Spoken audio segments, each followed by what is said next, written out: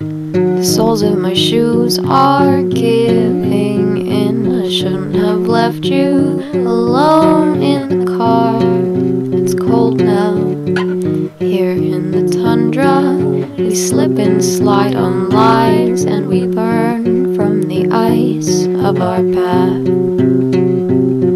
I didn't have to go. I didn't have to go. I didn't have to go.